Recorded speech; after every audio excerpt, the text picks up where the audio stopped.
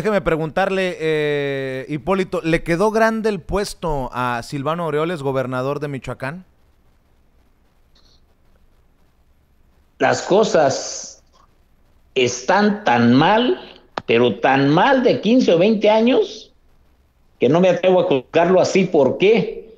Yo se lo dije cuando ya era gobernador electo.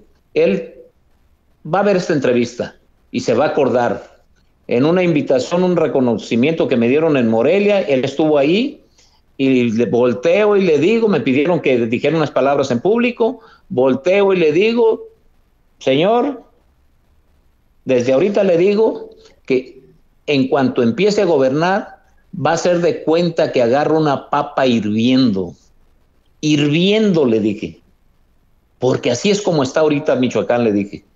Y, desde mi punto de vista, para terminar con todo esto, yo pongo tres requisitos. Y los pongo por el orden alfabético que creo que deben ir. Inteligencia, honestidad y producto de gallina es lo que para mí necesita una persona que está en el gobierno. ¿Y de y qué ha faltado entonces? ¿Qué, es lo van tres años. Recibió una papa hirviendo, recibió un infierno, así como lo recibió el presidente de la República. Entonces, pues que paguen esa papa, que la paguen, que, que lo merecemos todos los mexicanos que queremos trabajar en paz. Y a mí me llueven las amenazas por donde quiera. Y sin embargo, aquí sigo, sigo hablando con ustedes. Mis armas son ustedes, la prensa. Usted Aunque tengo que usar también algo otras para proteger mi vida, porque nada más con las entrevistas no, no, me voy a proteger. ¿Usted conoce al presidente Andrés Manuel López Obrador, eh, Hipólito? ¿Cómo? ¿Usted conoce al presidente Andrés Manuel López Obrador? Lo saludé nada más una, una vez este, de mano cuando andaba en campaña aquí en, el municipio de nosotros, en la cabecera que es Buenavista. Eh, fui al evento y nada más nos saludamos de mano y, nunca más he vuelto a platicar con él.